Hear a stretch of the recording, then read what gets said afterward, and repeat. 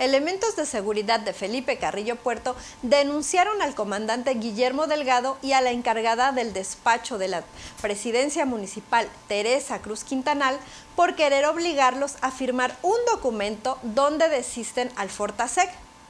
Y es que la mañana de este lunes, Guillermo Delgado citó a 40 policías en el Cabildo para retirarles el apoyo del Fortasec, porque supuestamente no les corresponde cuando la ley dice que todo elemento activo debe recibir de 11 a 14 mil pesos por este seguro.